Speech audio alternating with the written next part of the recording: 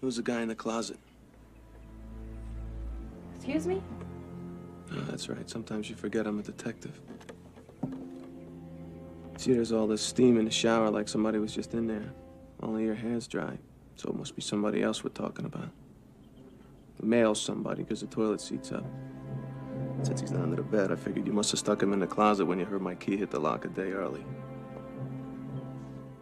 So, who's the guy in the closet? Jesus Christ, nothing changes. You're still a lunatic.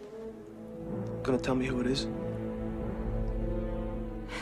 You want me to open the closet, Joe? I'll do it, okay? And then we'll both know that you're a fucking psycho. Is that what you want, huh? No. Thank you. The door stays shut.